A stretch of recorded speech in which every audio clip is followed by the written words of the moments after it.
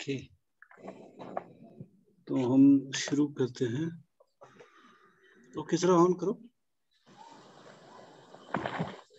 हम बात कर रहे थे ये ऑपरेटर्स की ऑन हिल्बर्ट स्पेस अब ज़्यादा नहीं, मुझे लगता है हमें दो तीन लेक्चर ही लगेंगे इसको खत्म करने में। क्योंकि चौथा यूनिट में एक्चुअली वो प्रोजेक्शन थ्योरम भी था, जो हमने तीसरे में किया था।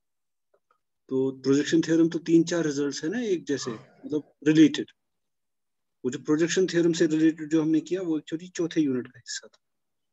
लेकिन हमने उसको थर्ड यूनिट में ही किया था, जो उसका मेन हिस्सा था मतलब एक तरह से। Projection theorem wire three three four theorems थे वो, एक के बाद एक, जिसके बाद हमने प्रूव किया कि any Hilbert space can be written as m plus m perp, where m is a closed subspace of h तो वो चौथे यूनिट का हिस्सा है, यानी हमने पहले ही चौथे यूनिट का आधा हिस्सा कर लिया था। थर्ड यूनिट में ही क्योंकि थर्ड यूनिट में हमें काफ़ी टाइम लगा। तो इसलिए इसमें अब हमें मुझे लगता है दो तीन दिन ही लगेंगे ये सिलेबस भी खत्म हो जाएगा। तुम्हारा एग्ज़ाम है परसों। जी सर एट को। राइट तो एट्थ को प्रिपेयर करना। तो लेट्स स्टार्ट अभी कम ही आए फाइव स्टूडेंट्स सात आठ नौ। Okay so let us start with these operators जो हमने कल किया था। Now we are here, we are talking about BH. That means these are all operators from H to H such that T is linear and continuous. So this is our space, uh, which of course is uh, uh Banach space. This BH is a Banach space, but our H is a Hilbert space. This is now our collection of operators BH. मैंने कहा कि हम via the Rees representation theorem, if T belongs here, then the adjoint of T also lies inside this vector space. And of course, unka sum, unka composition even वो भी इसी में lie करेगा because our domain and codomain is same. So I can think of T1 composition T2 भी इसी में है, T1 T2 इसी में है, right? So then you could have T star T भी इसी में है, right? मतलब हर तरह के ऑपरेटर जो भी इनके पॉसिबल कंपोजिशन हैं सो सो मैंने कहा था it is got everything except possibly the commutativity of the composition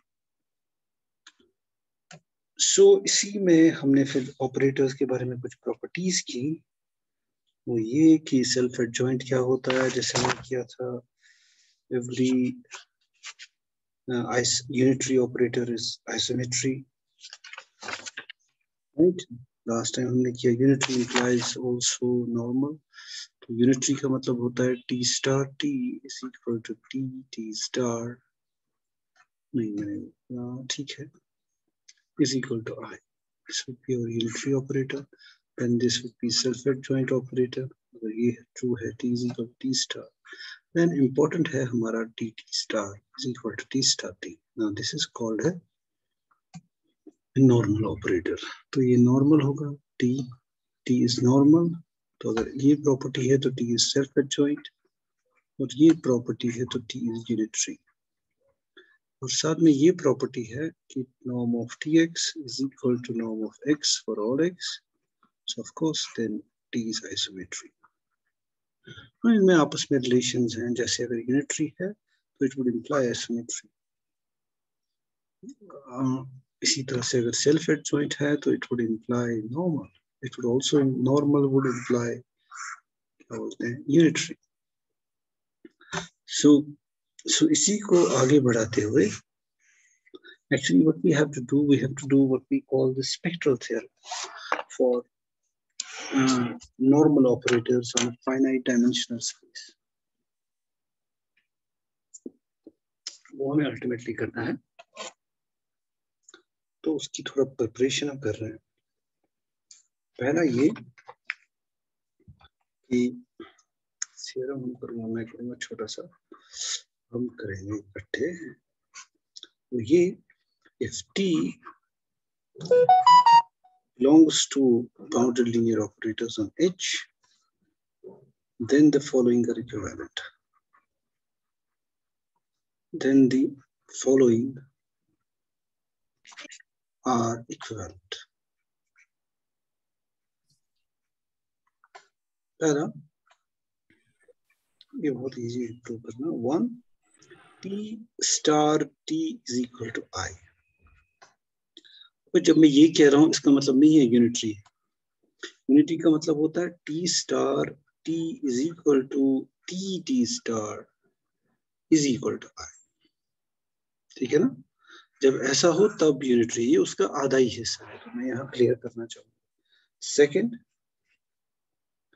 this thing T X comma ty is equal to xy it preserves the inner product अगर ये true है no they are equivalent conditions for all xy belonging to h three जो अपना है that it's an isometry t of x is equal to norm of x actually ये तो हम कर ही चुके हैं लेकिन तब हमने रिज्यूम किया था isometry but this much was sufficient anyway proof करते हैं इसका जो कि बहुत ही इजी है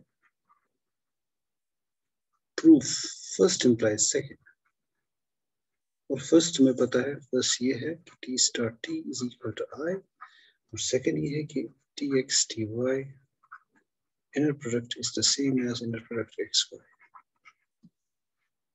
so basically unitary operators always preserve the dot product anyway so obviously अगर टी एक्स अगर टी वाई के बराबर है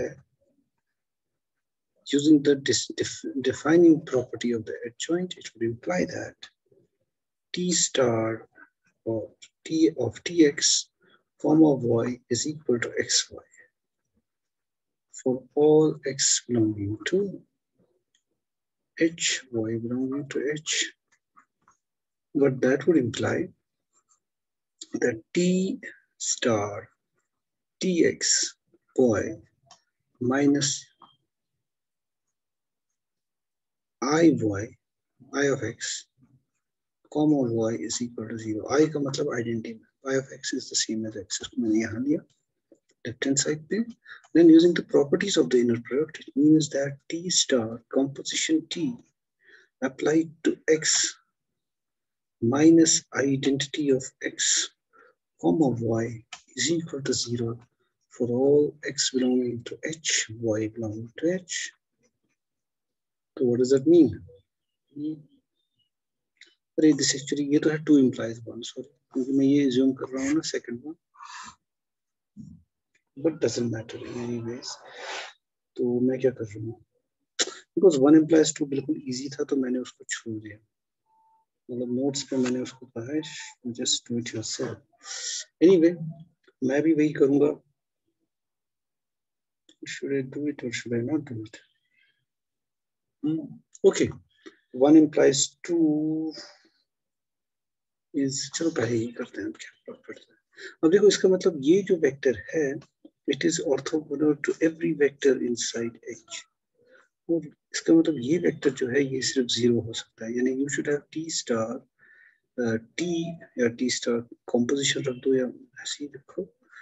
Must minus i of x is equal to zero for all x belonging to H, which would imply that T star composition T applied to X is same as identity applied to X for all X belonging to H, which would imply that T star composition T is the identity map. So basically, ye jo maine here, this is actually two implies one. Now, one implies two नहीं, ठीक है। Two implies one so one implies two भी easy है। One implies two तो बिल्कुल easy है। वो ऐसे। वन इंप्लाइज टू आ जाएगा बहुत ही easily suppose T star T is equal to identity. उसका मतलब है implies that T star T applied to X. comma y is equal to xy because this is identity map. But that would imply taking t here in the defining property of the inner product, the adjoint, sorry, this should be true. मतलब मैंने कहा ना ये बहुत ही easy है क्योंकि to ये है तो वन से टी ऑटोमेटिकली इंप्लाई होता है Okay now two implies three is बिल्कुल ही easy two implies three two का मतलब ये property so so if T of X comma t of y is equal to xy for all x, y belonging to h. So I can take x equal to y. I can take x to be y. it would imply that inner product tx tx is the same as inner product xx for all x belonging to h. But that would imply a norm of tx squared is equal to norm of x squared because that is the definition of the norm in an inner product space. This is true for all x belonging to h and taking the positive square root from both sides, we have got right? So this is done. Now last wala bacha 3 is equal to 1. And isometry, and agar ye isometry here. this is the third condition, it implies this one, that T star T must be identity. So that's also very simple. So 3 implies 1 should clear our thing. So, so suppose norm of t of x is equal to norm of x for all x belonging to h it would imply that norm of tx square must be equal to norm of x square. अब वही reverse process करेंगे हम इसको लिखेंगे T X comma T X जो है is equal to x comma x.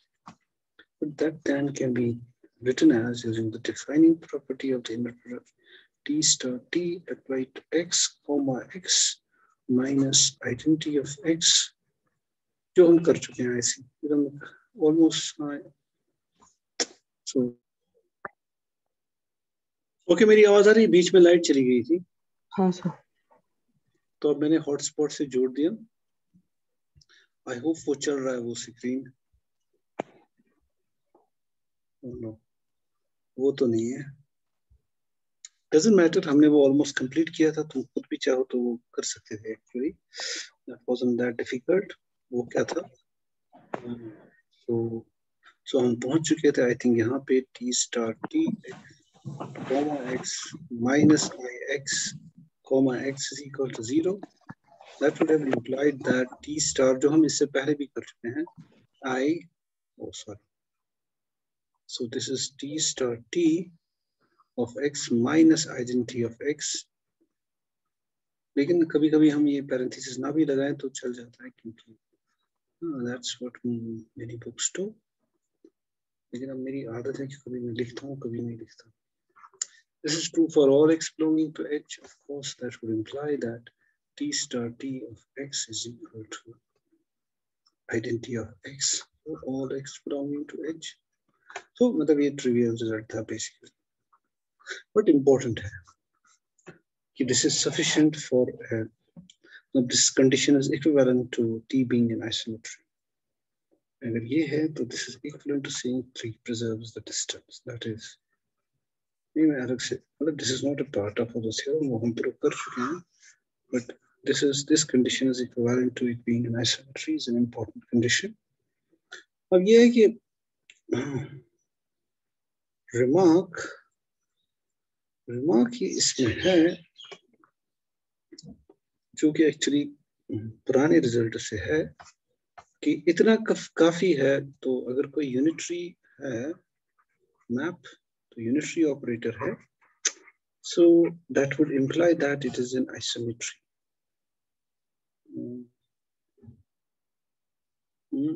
right but the converse is not true isometry need not imply unitary although isometry does imply देखो important है isometry implies t star t is equal to i but isometry does not need not imply need not imply that t star t is equal to t t star is equal to r देखो इतना तो isometry से मिलता ही है लेकिन isometry से पूरी के पूरा नहीं, ये दोनों साइड्स बराबर हो और वो आइडेंटिटी के बराबर हो, ये ज़रूरी नहीं है। तो वही मैं करूँगा। Although norm of T X यानी isometry is equal to norm of X implies that T star T is equal to I but isometry या यू लिख लो। But T is an isometry need not imply T is unitary.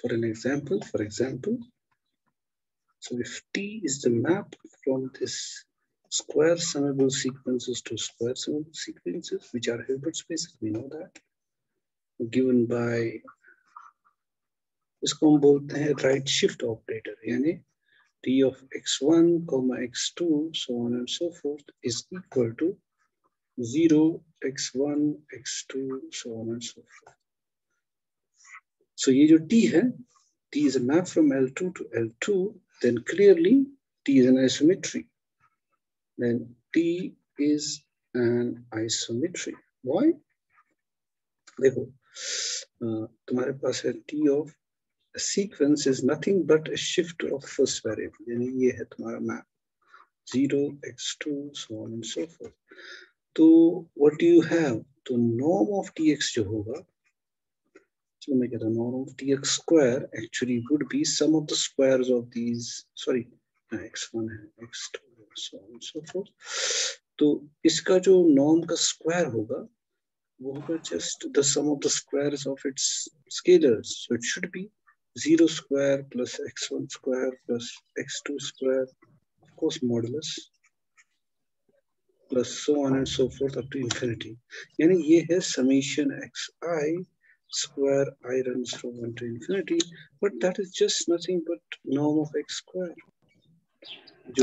L2 का norm है वो ये होता है that means norm of tx जो है it's the same as norm of x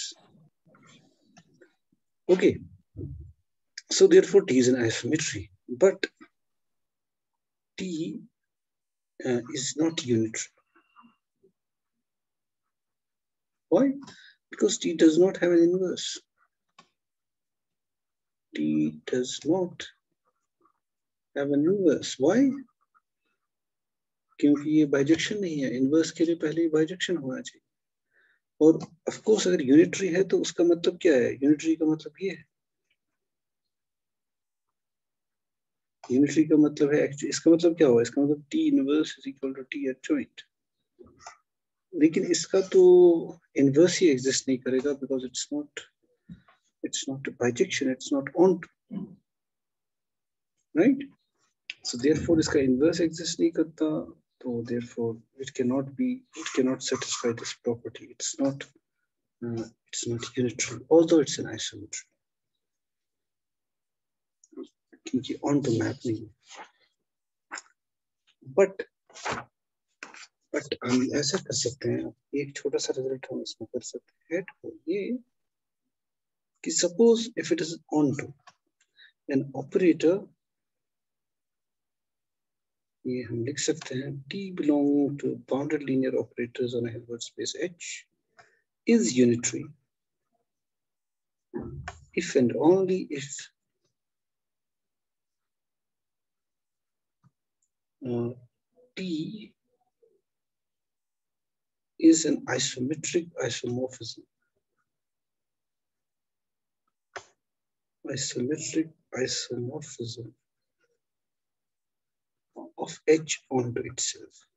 यानी इन अदर वर्ड्स हम कह रहे हैं कि अगर ये मैप ऑन टू हो सब्जेक्टिव हो, जो कि ये नहीं था जो हमने एग्ज़ाम्पल पर दी then it is unitary is equivalent to isometry ठीक है ना? So so that's what we are going to prove. Now, if t is unitary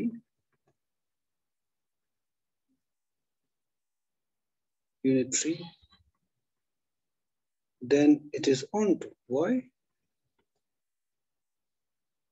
क्योंकि इसका इनवर्स है है ना so you put an inverse from on the whole the, on the whole whole of h तभी तो ये unitary वाली property आएगी and you would have the inverse would exist because adjoint would be the same as the inverse so then it is onto and since t star t is equal to identity जो कि हम कर चुके हैं, it is equivalent to that unitary का आधा हिस्सा ही मुझे चाहिए, है ना?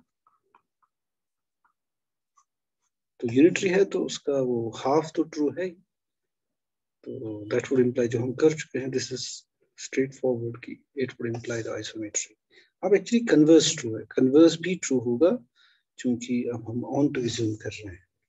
अब conversely suppose that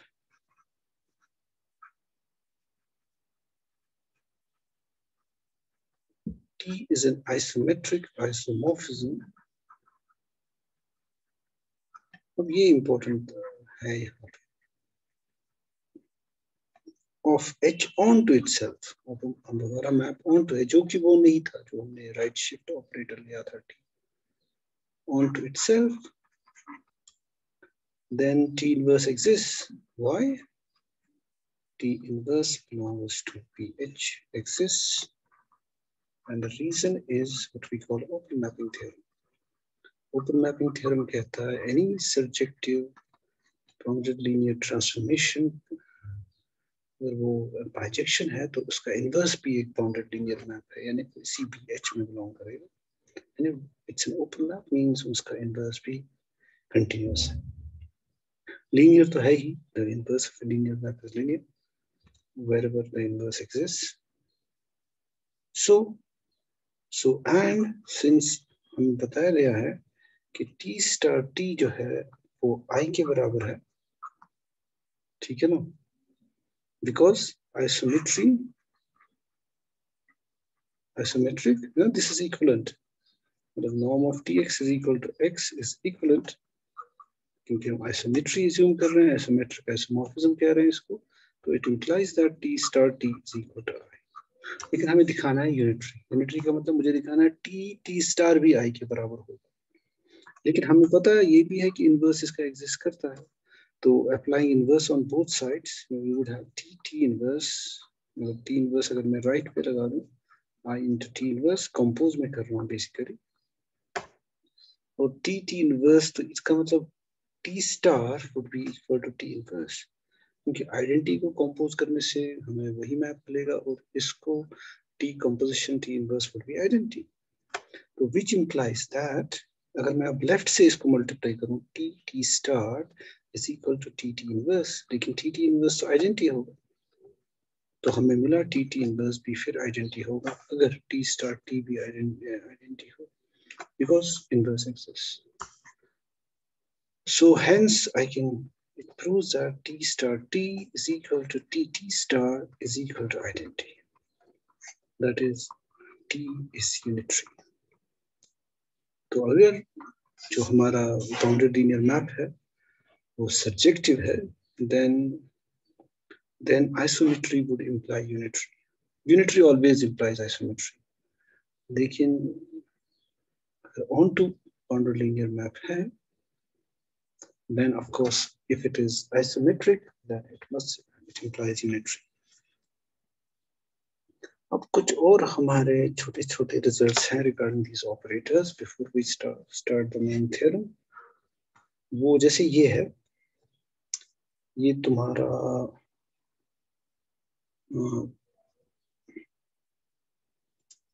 हमने किया था, हमने किया था तो एक छोटा सा थ्योरम तुम्हारा होम असाइनमेंट रखता हूँ मैं वो ये given a self-adjoint operator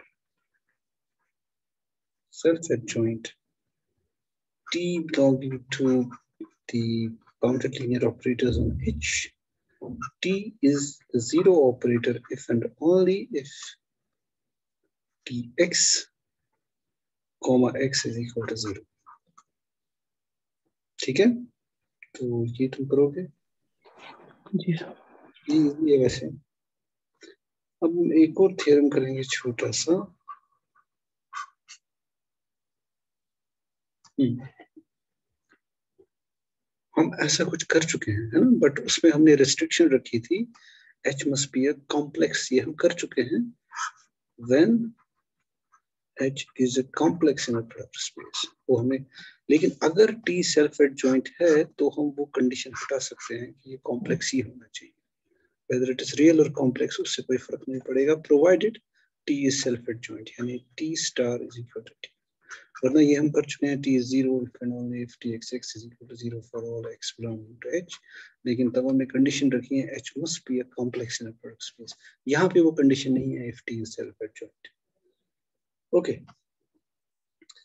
एक और सिंपल से एक दो रिजल्ट्स हम करेंगे t belonging to given T belonging to the bounded operators on Hilbert space H, then Bella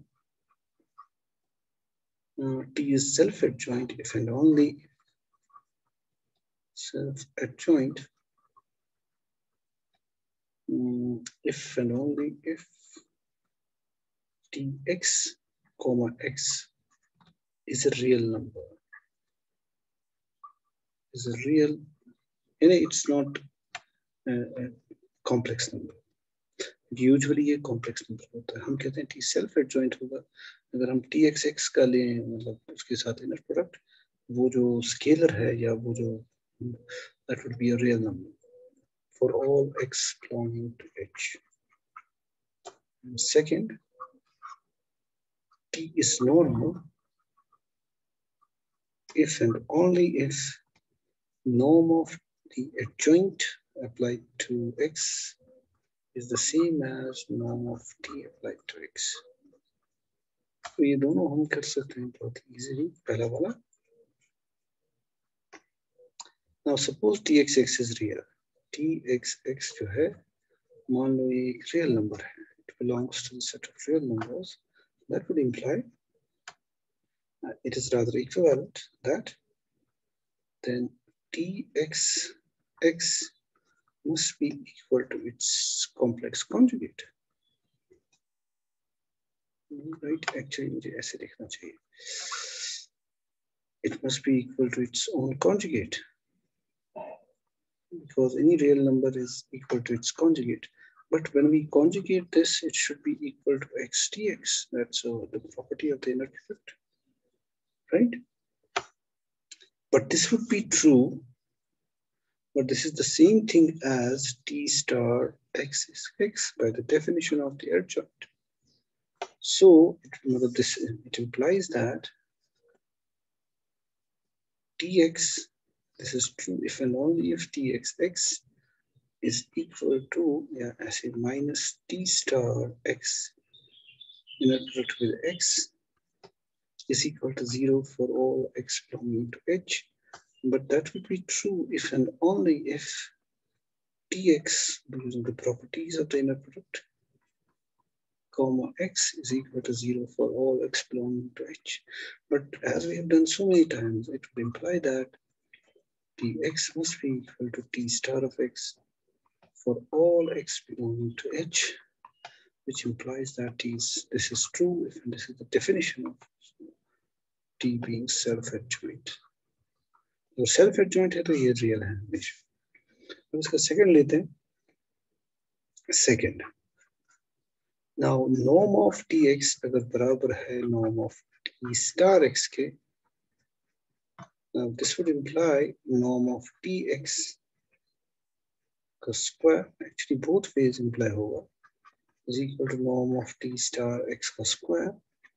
But this is the, the, the definition of the inner product. This should be tx, comma tx minus is equal to t star of x, comma t star of x. of course, I'm assuming that this is true for all x belonging to h. So this is true for all x belonging to h. That would imply, of course, this is equal to तो यहाँ पर मैं इसको t को यहाँ ले जाऊंगा so you will get t star t applied to x comma x inner product is equal to यहाँ इसको ये ले जाएंगे तो बन जाएगा t t star of x comma x just using the definition of the adjoint जब इसको यहाँ ले जाए तो स्टार आ जाता है और अगर स्टार हो तो डबल स्टार है तो डबल स्टार का मतलब यू नो दैट मतलब याद रखना है, जब इसको यहाँ शिफ्ट करेंगे तो डबल एक स्टार बढ़ जाएगा। और एक स्टार बढ़ने का मतलब अगर दो स्टार हो गए, because the adjoint of the adjoint is the operator itself so that would imply t star t of x minus t t star of x comma x by the properties of inner product should be zero for all x belonging to h which means that this vector is orthogonal to every vector. So therefore it must be zero. So it would be, imply that t star t of x is equal to t t star of x for all x belonging to h. But that would imply that t star t is the same operator as t t star, which, of course is the same thing as t is normal. Normal का मतलब है, it commutes with its adjoint. सो एक और छोटा सा जो हम result कर सकते हैं अब मैं देख रहा हूँ कि हम आगे क्या करते हैं हाँ ये कर सकते हैं देखो, अब अगर टी है तो हम थोड़ा सा इसको आगे और बढ़ाएँगे जैसा मैंने कहा था there are lot of similarities between B H and this set of complex numbers उनके ऑपरेशन में लेंथ का जो कनेक्शन है विद द वेक्टर्स वो सिमिलैरिटी सारी की सारी हैं except possibly for the commutative commutative complex numbers commute in multiplication but operators do not okay now if t belongs to bh then i then how about this operator suppose then t star also belongs to bh so then i can define this operator 1 by 2 into t plus t star this also belongs to pH because it's a vector space. I'm, I'm adding and multiplying by a scalar. Should be within that space. And same applies to this 1 by 2 iota into t minus t star. This also belongs to P of H Right? Because it is scalar multiplied by the difference of the vectors that lie inside this space, which is a vector space. So this must also belong to the the क्या बोलते हैं इसको the BH, the boundary linear operators on H, because it's a vector space. तो इसको हम कहते हैं इस operator को real part of T. इसको हम कहते हैं imaginary part of T. Imaginary कुछ नहीं। इसमें इसमें simply the connection between, जैसे complex number में भी ऐसे ही होता है ना रियल पार्ट ऑफ़ z जो होता है, वो होता है z plus Z bar divide by two और इमेजिनरी पार्ट ऑफ़ z जो होता है, वो हमेशा होता है z minus Z bar divide by two iota तो उसी को हमने यहाँ पे लगा दिया। And we know that if T belongs to B H तो ये जो ऑपरेटर है जो कि बाउंड्री लीनियर ऑपरेटर होगा because this forms a vector space तो ये भी इसी में बिलोंग करेगा ये भी इसी में बिलोंग करेगा। तो इसको हम बिल्कुल एक कॉम्प्लेक्स नंबर्स की तरह देख सकते हैं यहाँ पे।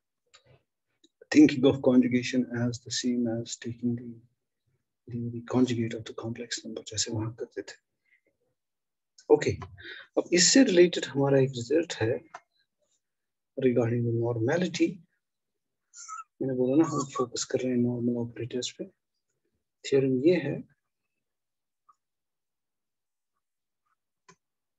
if t belongs to the bounded linear operators on H, where H is an uh, Hilbert space, then P is normal.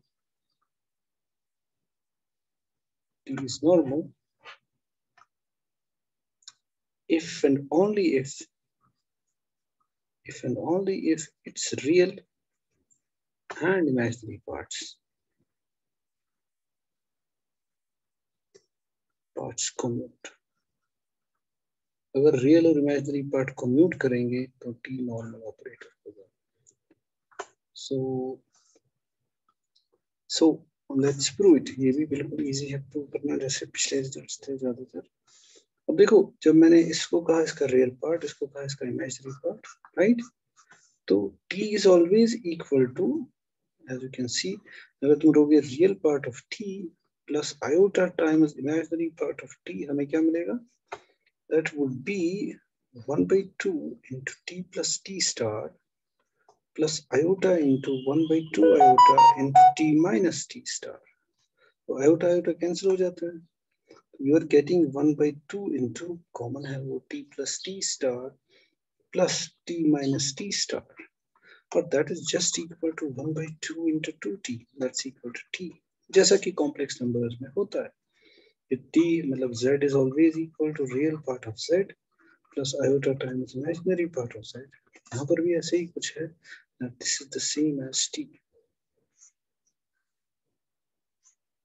okay so let's write down in that manner if a1 and a2 are the real and imaginary parts imaginary parts um, of T, then T is equal to A1 plus iota A2. Uh, of course, तुम्हें पता ही है where A1 is the real part. E1 is equal to 1 by 2 into t plus t star. And the imaginary part E2 that is equal to 1 by 2 iota into t minus t star. Right? Now what would be t star? Of t star जो होगा, it would be the same thing as E1 plus iota E2 का star. और हमें पता है ये जो joint लेने का ऑपरेशन है उसके हिसाब से this should be A1 star plus iota times A2 star. But that should be equal to A1 star plus iota bar A2 star. But that is the same thing as A1 star minus iota A2 star. Right? मैंने सही लिखा हाँ now हाँ बिल्कुल iota बार क्योंकि इसमें conjugation में जब हम यहाँ से कॉम्प्लेक्स नंबर कोई होगा तो उसका कॉन्जुगेट बाहर आ जाएगा। Now look at what is a1 star now a1 जो है, वो है 1 by 2 into t plus t star so E one star किसके बराबर होगा? इवन स्टार होगा one by two into T plus T star का होल स्टार और हमें पता है, जब ये स्टार लगता है जो स्केलर है, ये बाहर आ जाता है with conjugate so it would be one by two गार into T plus T star का whole star but one by two is a real number so it would be just one by two और अंदर हमें मिलेगा T star plus T star का star So that would be 1 by 2 into t star plus t double star, which is the same as t. So it means that A1 star is just A1. यहाँ पर मैं A1 लिख सकता हूँ. Right? How about A2 star? Now A2 star जो होगा करते हैं इसको it is 1 by 2 iota into t minus t star का whole star. Again this would be 1 by 2 iota bar conjugate into t minus t star का whole star. But conjugate जो यहाँ आएगा so 1 by iota conjugate जो होगा minus iota. So I think it would be iota into 2. I think वही होगा one by iota का conjugate क्या है because one by iota is equal to minus iota और इसका कॉन्जुगेट है आयोटा राइट ओके सो मैंने यहाँ लिखा है ओटा बाई टू तो यहाँ आना चाहिए मुझे T star minus T double star but T double star is T right so it be iota by two into T star minus T which would be equal to अगर मैं minus आयो बाहर निकालू माइनस तो it would be T minus T star so that A इसको क्या हो गया? ये खुद ही लिख रहा है।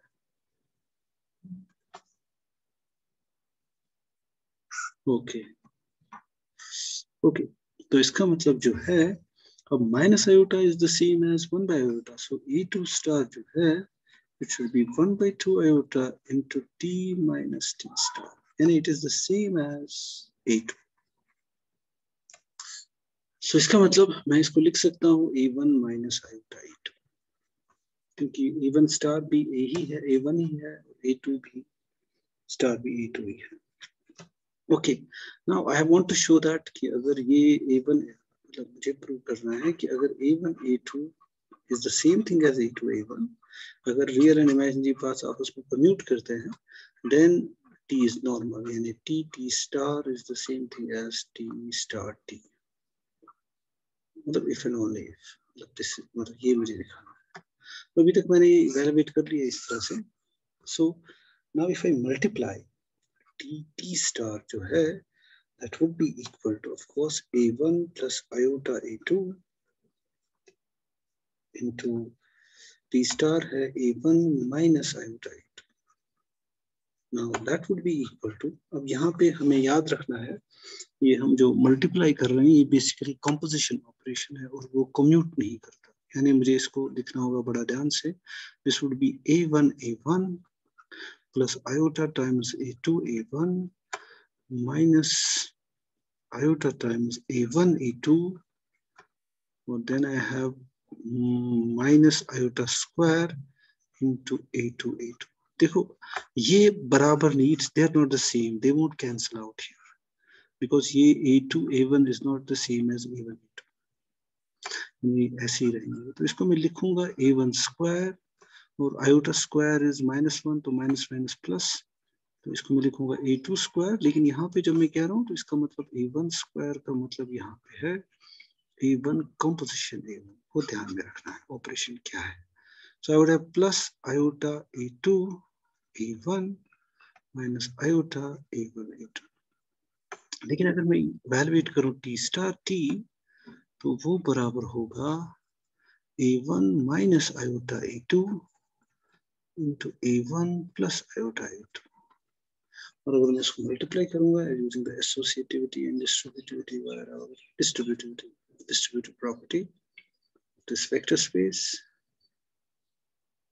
नहीं ऑफ़ दिस क्या बोलते हैं इसको it's basically in algebra algebra Okay, so it would be one part we discuss a1, a1 plus iota a1, a2. Then I would have for many cases. Okay, minus iota times a2, a1. Then I have minus iota square a2, a2. So that would be equal to a1 square plus iota a1, a2. After the minus iota, I'm sorry, that is good. e2 square ही पहले लिखते हैं।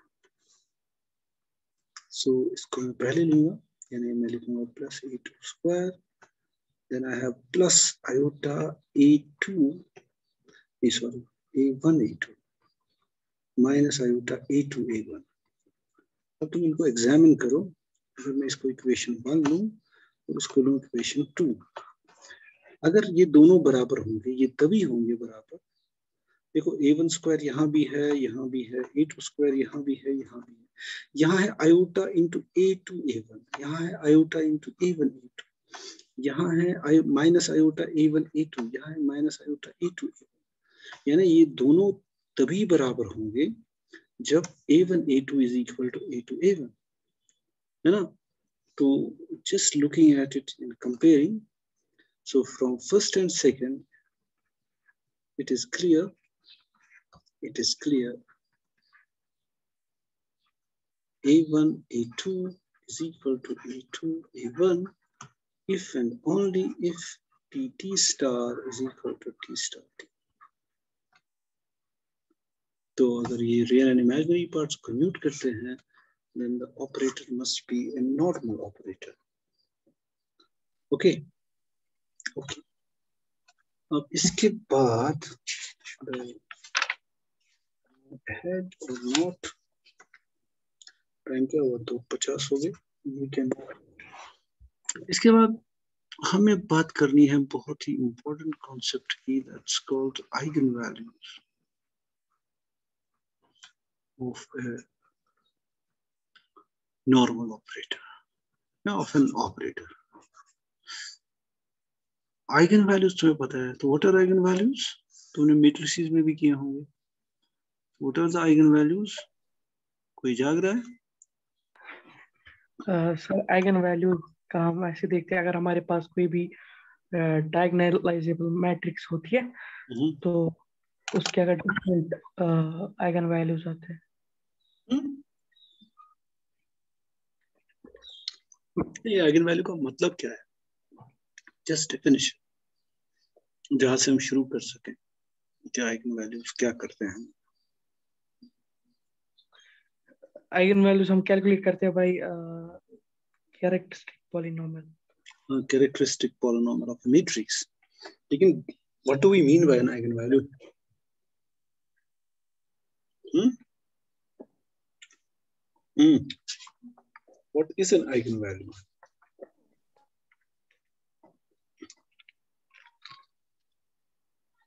hmm? Ji sir a set of scalars associated with a linear system of equations Mhm. जिनको कभी कभार characteristic roots या characteristic values भी बोलते हैं। मैं अभी भी डेफिनेशन नहीं नाम बहुत सारे हैं उसके। आइगन वैल्यू कैरेक्टरिस्टिक वैल्यू लेकिन होता क्या है? Scalars roots of a characteristic polynomial हाँ वो भी है। लेकिन उस सब के पीछे वो तो हम फिर उससे प्रूव कर सकते हैं, वो सारी चीज़ें जो तुमने तकरीबन कही, सारी नहीं मतलब लेकिन ज़्यादातर चीज़ें जो तुम लोगों ने कही। लेकिन it starts from an idea of an eigenvalue देखो, मैं एक चीज़ बताऊँगा, तुम्हारे पास एक लीनियर ऑपरेटर है। लीनियर ऑपरेटर किसी भी दो वेक्टर स्पेसेस के दरमियान ठीक है ना? इसकी suppose now H is a vector space चलो मैं एच ही मानता हूँ। दो वेक्टर एक ही वेक्टर स्पेस है। या दूसरी भी होगी तो कोई फ़र्क नहीं तो उससे कुछ फ़र्क नहीं पड़ेगा बेसिकली लेकिन अगर तुम सोचो सिंपलेस्ट लीनियर ऑपरेटर क्या हो सकता है what could be the simplest possible linear operator linear पता है ना लीनियर की ये प्रॉपर्टी है t of x plus y is equal to t of x plus t of y and t of alpha x equal to alpha times t t of alpha x is equal to alpha times tx तो क्या तुम मुझे किसी linear operator की example दे सकते हो? जी sir. A X plus B Y या ए एक्स है ना? T of x is equal to ax हाँ sir where ax is a scalar. है ना? हाँ सर और भी हो सकती है। तुम कह सकते हो सर अगर हम h को लें डिफरेंशियल फ़ंक्शन मतलब जिसको हमने कहा था c1 ab और इसको ले c ab then I can define the differential operator as a linear operator and t of f अगर मैं मान लूँ f dash तो हमें पता है t of f1 plus f2 जो है वो बराबर होगा f1 plus f2 dash है ना बहुत सारे that's equal to f1 dash plus f2 dash which is t of f1 इसी तरह से स्केलर भी बाहर आ जाता है क्योंकि differentiation is a is a linear operator linear operator लेकिन जो सबसे सिंपलेस्ट लीनियर ऑपरेटर फ़ंक्शन हो सकता है, वो है just scalar multiplication this is the simplest thing जो आप कर सकते हो। अगर तुम्हें लीनियर ऑपरेटर बनाना है तो सबसे सिंपल चीज़ है, तुम कहो T X is equal to three X this is automatically linear है ना? क्योंकि T of X plus Y जो होगा होगा three into X plus Y और वो होगा three X plus three Y और टी ऑफ़ एल्फा एक्स जो होगा, वो क्या होगा? थ्री एल्फा एक्स है ना three alpha so that would be what is that? उसको मैं लिख सकता हूँ alpha into three of X होगा alpha into T of X तो स्केलर किसी भी नंबर से मल्टीप्लाई कर लो वो वो सबसे सिंपल लीनियर ऑपरेटर है मल्टीप्लिकेशन और अगर मैं थोड़ा हायर डायमेंशन में जाऊँ तो सबसे सिंपल है अगेन स्केलर मल्टीप्लिकेशन लेकिन अगर हम फाइनाइट डायमेंशन में जाए suppose I go from R two to R two तो R2 टू R2 में हमें पता है can, if we fix the basis, then we can actually this T का जो एक्शन है it would be equivalent to a multiplication अगर मैं टू क्रॉस टू कोई मैट्रिक्स है, जिसका मल्टीप्लीकेशन जो ऑपरेशन है that would be the equivalent of the operation by T fixed basis क्योंकि बहुत that would depend upon the basis actually but what I am trying to say even there जो simplest हो सकता है वो हो सकता है मतलब ए मतलब स्केलर मल्टीप्लिकेशन मतलब थ्री इंटू एक्स वाई अगर ना आर में देखें this is the linear operator T of x y अगर मैं लूँ फ्रॉम आर टू टू या किसी भी वेक्टर स्पेस में और बट इसको मैं ऐसे भी लिख सकता हूँ।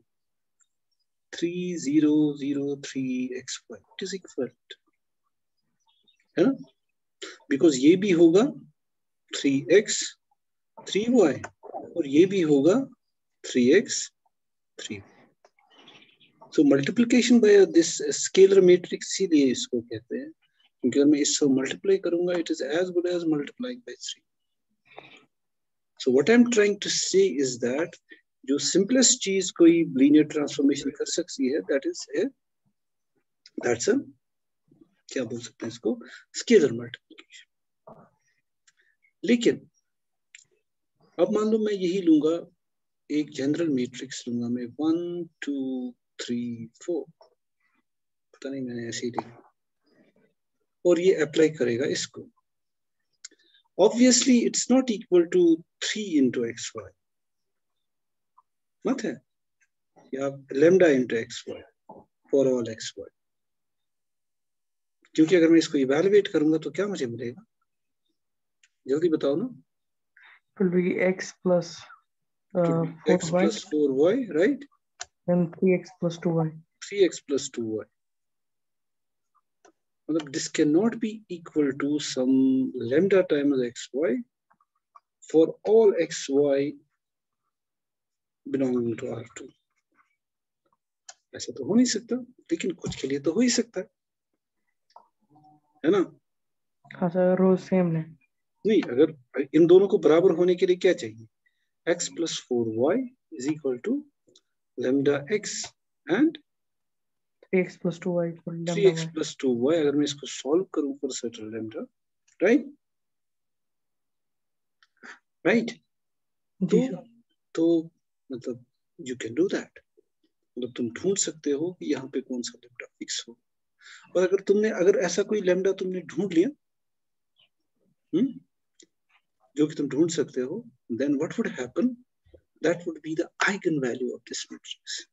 यानी आइगन वैल्यू वो है मैट्रिक्स का, उसका वैसा ही है कि जब मैं उसको उस नॉन ज़ीरो वेक्टर से मल्टीप्लाई करूँ it is as good as multiplying by that lambda अब हम चेक करेंगे क्या वो सच में ऐसा है।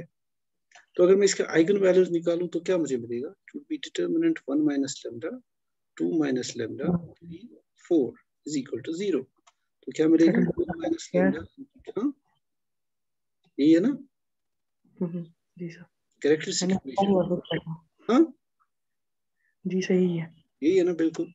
तो that would imply that one नहीं it would be two minus lambda minus two lambda I wish इसका कुछ सिंपल निकल आए तो plus lambda square minus twelve is equal to zero तो that would be lambda square minus three lambda minus ten is equal to zero क्या इसको आराम से हम कर सकते हैं? आई विश सिंपल सा कुछ आ जाए। Plus two minus five plus two so it is lambda minus five into lambda plus two देखते हैं minus five lambda plus two lambda ठीक है?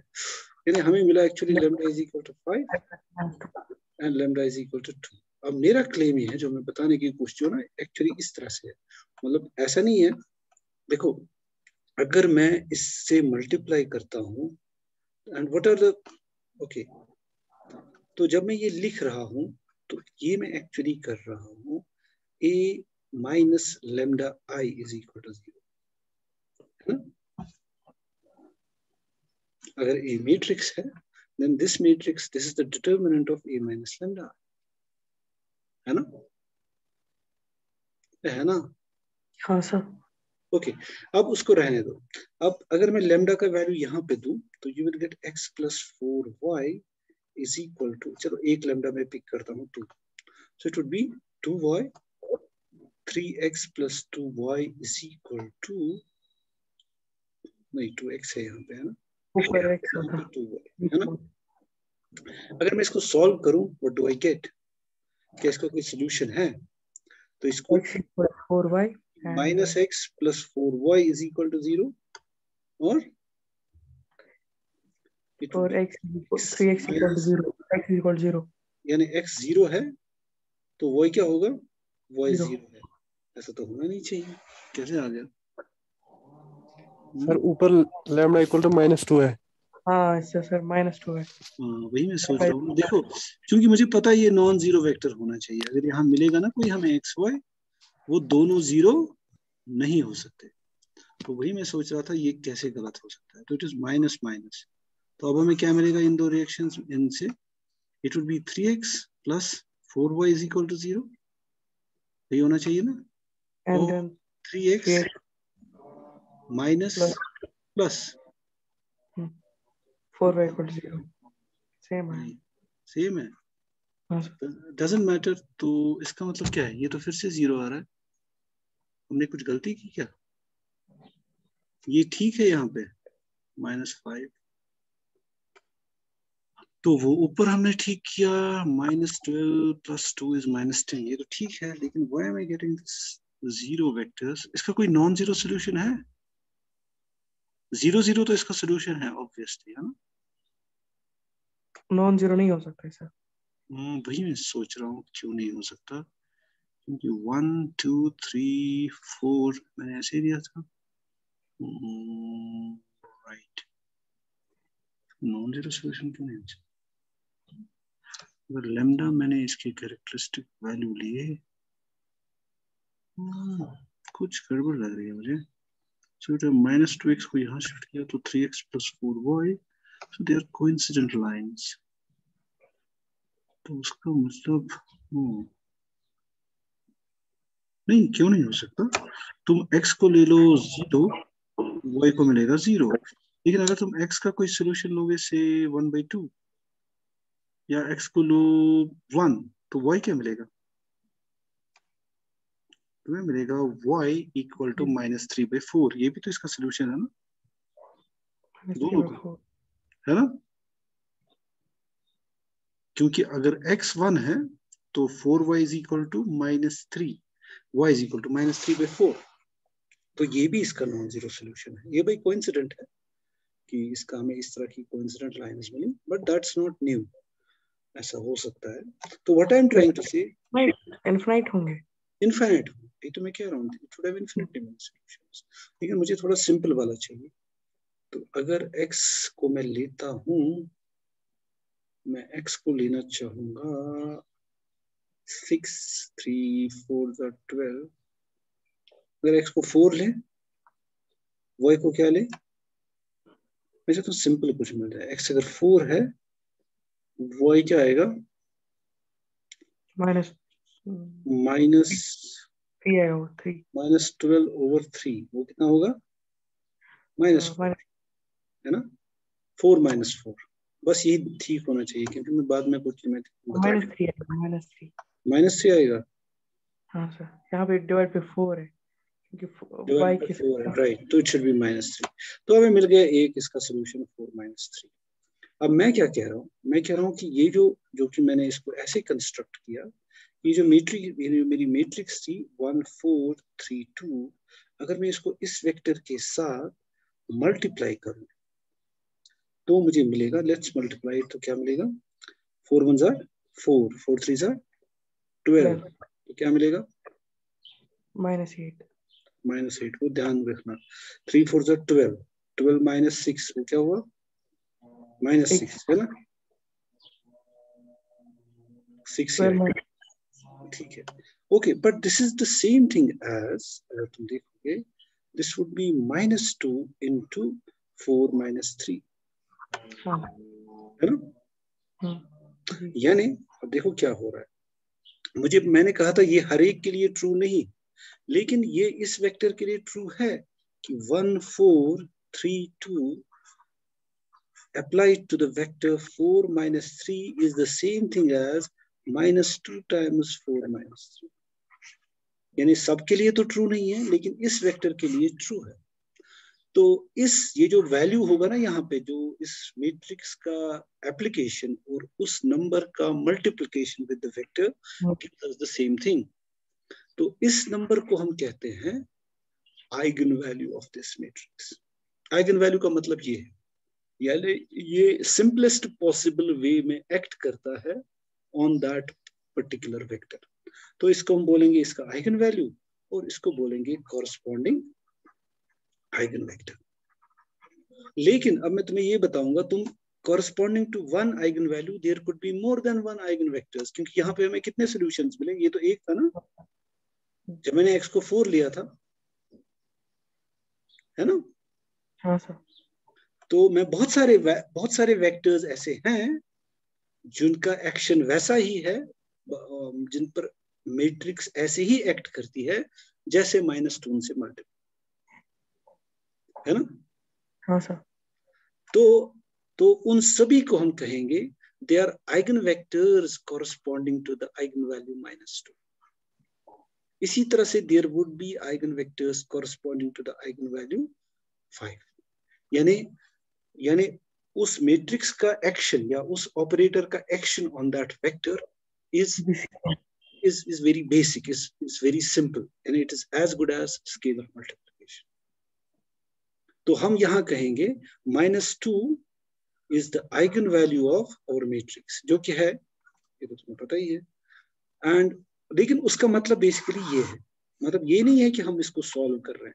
इस सॉल्यूशन का मतलब सिर्फ़ ये है कि वी वांट टू फाइंड कि ऐसा एक्शन यानी व्हेन वुड वी हैव कब कब हमें मिल सकता है A x is equal to lambda x for which values of lambda is this true तो उसके लिए हम वो लेमडाज ढूंढ रहे हैं। And of course chorus for E for some lambda है ना there would be more than है ना, अभी हमें इन्फिनेटली मिले। More than one x is which would satisfy this equation. तो उनको हम बोलेंगे eigen vectors corresponding to the eigen value lambda I hope मैंने थोड़ा ये कैलकुलेशन करके तुम्हें थोड़ा फील दे दिया कि आइगन वेक्टर और आइगन वैल्यू का मतलब क्या है मैट्रिक्स पर सर ये पॉसिबल है किसी एक के लिए एक वहाँ पे एग्जिस्ट करेगा? मतलब एक ही के एक ही हो? हाँ? हाँ सर क्या मतलब? मतलब यूनिक आइगन वेक्टर हो। कॉरस्पॉन्डिंग वहाँ से आइगन वेक्टर एक ही हो। देखो पहली बात तो ये है कि x को मैं ज़ीरो नहीं लूँगा क्योंकि दैट्स ट्रिवियल है ना? A ऑफ़ ज़ीरो क्योंकि अगर ये लीनियर ऑपरेटर है तो ज़ीरो है। और ज़ीरो इंटू एक्स भी ज़ीरो ही है। तो मैं ये केस खत्म करता हूँ यानी एक्स ज़ीरो नहीं होना चाहिए। अब तुम कह रहे हो क्या एक ही वेक्टर हो सकता है? No no. क्यों? क्योंकि अगर ये ट्रू है तो अगर मैं लूँगा ए थ्री एक्स वो क्या होगा? लेमडा इंटू थ्री एक्स देखो अगर ए एक्स है बराबर लेमडा एक्स के फॉर सम एक्स मान लो एक ही है तुम्हारे हिसाब से है ना? और some x then what would be A three x A three x is actually क्योंकि ये लीनियर है it is three of A x लेकिन अगर ए एक्स किसी वेक्टर के लिए लेमडा एक्स है देन ए थ्री एक्स होगा थ्री लेमडा एक्स। मेरी बात समझ में आ रही है? हम्म? जी सर। देखो मेरे कहने का मतलब ये है which would be the same as lambda of should I write it like this पता नहीं मैंने कुछ गलत बोल दिया। अगर ए एक्स लेमडा एक्स है right then A of three x would be three times A of x which would be 3 times lambda x so which would be lambda into three x यानी अगर ये एक के लिए true है then मैं मुझे एक और मिल गया ना F y is equal to lambda of y where y is equal to three x तो दूसरा भी मिल गया ना? जी एक्चुअली हाँ? अगर एक मिल गया उसका कोई भी स्केलर मल्टीपल ट्रू हो। Isn't it? दूसरी चीज़ सपोज़ मुझे दो मिल गया। A of x one is equal to समा times x one A of x two is equal to then that अब मुझे मान लो इतने दो ही दो मिल ही गए हैं ना अभी तो सभी स्केलर मल्टीपल्स मिल गए ना। अगर A x is equal to lambda x for some x then A y is equal to lambda y for any y which is alpha times ना एक्स एक्स है ना? ए, मिल गया ना ये फॉर्मूला देखो और कुछ नहीं। हम हम सिर्फ़ ये यूज़ कर रहे हैं ए इज़ है ना? हाँ सर। वेरी गुड अगर तुमने ये क्लियर कर लिया तो अब मान लो ए ऑफ़ एक्स वन ये है ए ऑफ़ एक्स टू ये है then A of x one plus x two किसके बराबर हो अब चूँकि ए लीनियर है it would be A x one plus A x two but A x one is lambda x one और ये है लेमडा एक्स टू तो lambda then of it would be lambda of x1 x1 plus x2 यानी अगर दो vectors का- अगर lambda की कॉरस्पॉन्डिंग दो आइगन वेक्टर्स है तो उस उनका जो कॉरस्पॉन्डिंग उनका जो सम है that's also an eigen vector corresponding to lambda ji sir. है ना? तो इन अदर वर्ड्स अगर मैं लू all eigen vectors corresponding to some eigenvalue lambda, they are closed with respect to uh, scalar multiplication and and vector addition है ना अभी हमने देखा ना देखो मेरे कहने का मतलब है चलो मैं लेता हूँ m lambda all eigenvectors corresponding to eigenvalue lambda. ठीक है? इसका मतलब है, all x is belonging to h such that t of x is equal to lambda x. ये है ना उसका मतलब? ऐसे सभी वेक्टर्स जिनका एक्शन टी का वैसा ही है, जैसे इस लेमडा से मल्टीप्लिकेशन तो अभी हमने देखा, अभी हमने क्या देखा कि अगर x1 x2 m lambda को बिलोंग करते हैं it implies that x1 plus x2 also belongs to m lambda and if x1 belongs to m lambda and alpha belongs to scalar field k it would imply alpha Alpha x1 also belongs to m lambda अब इससे तुम क्या conclude करोगे linear है नहीं ये सब space हो सकती है Hmm. इट इज़ मतलब it is it's of course a subset of vectors है ना? M lambda जो है it is a collection of vectors it lies inside h. तो अगर साथ में इसको ये प्रॉपर्टीज़ हो तो तुम क्या कोशिश करोगे? Subspace. सब स्पेस Hmm. अब इसमें एक ही दिक्कत है। वो ये हम पहले ही मान चुके हैं ज़ीरो आइगन वेक्टर नहीं हो सकता। और सब स्पेस में ज़ीरो होना चाहिए। होना चाहिए। है ना? हाँ सर यानी अगर इसमें ज़ीरो ऐड कर ले हम यानी यूनियन ज़ीरो लूँ देन इट्स अ सबस्पेस ठीक है ना? इट्स बाकी को सारी प्रॉपर्टीज़ है। यानी एक नहीं बहुत सारे वेक्टर्स होंगे corresponding eigen vectors to an eigen value है ना? इससे हमें ये पता चला ना कम से कम। हम्म, जी सर। चला ना? श्योर हाँ सर। वेरी गुड तो इनको हम फिर बोलते हैं आइगन सब आइगन स्पेसेस ये जो कॉरस्पॉन्डिंग टू आइगन वैल्यू सारे आइगन वेक्टर्स हम लेते हैं।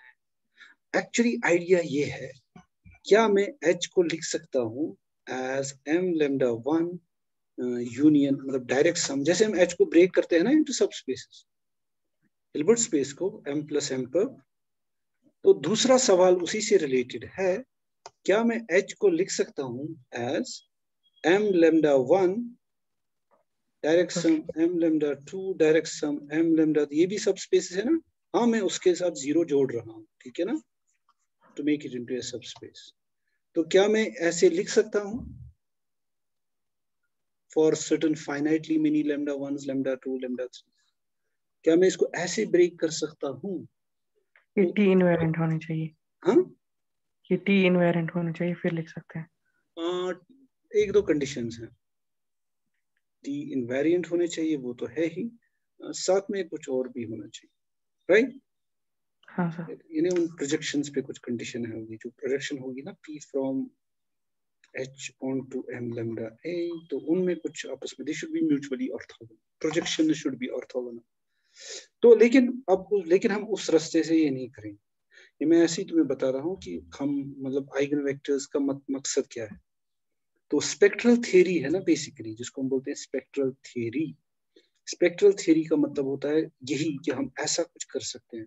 देखो, ये जो मैंने अभी किया ना मैट्रिक्स का that would apply only to finite dimensional space finite dimensional space मेरी बात समझ में आ रही ये जो मैंने ये सिस्टम बनाया ना व्हेन वाज दिस पॉसिबल जब मैंने लिया था आर टू टू लिया था ना मैप है ना ये हाँ। ये जो मैंने जहाँ से हमने शुरुआत की it was a map from R two to R two wasn't it? जी सर। लेकिन how about general vector space x to x? फिर तो वो ज़्यादा कॉम्प्लिकेटेड है ना। मान लो अब मैं कहूँ नहीं मैं फ़ंक्शन स्पेसेस ले रहा हूँ। तो वहाँ तो ये मैट्रिक्स वाला खेल हम नहीं कर सकते ना। है ना? हाँ सर। तो मैथमेटिक्स में एक बहुत बड़ा सब्जेक्ट है जिसको हम बोलते हैं स्पेक्ट्रल थियरी आइडिया ये है कि मतलब एग्जैक्टली exactly ऐसा तो नहीं मतलब ये पॉसिबल है for finite dimension under certain conditions not always ठीक है ना?